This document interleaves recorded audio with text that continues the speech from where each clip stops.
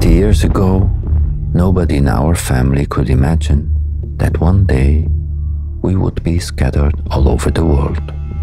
When I was born, the world was neatly organized.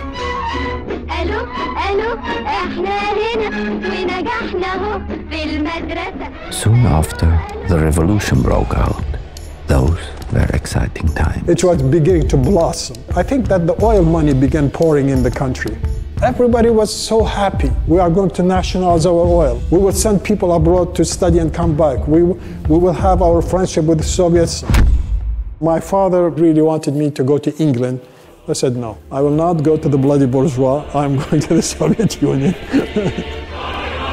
but this awakening ended in dictatorship and war after war. Everyday explosions and glass splittering. So I decided to leave. Now I am almost 80. How can I return?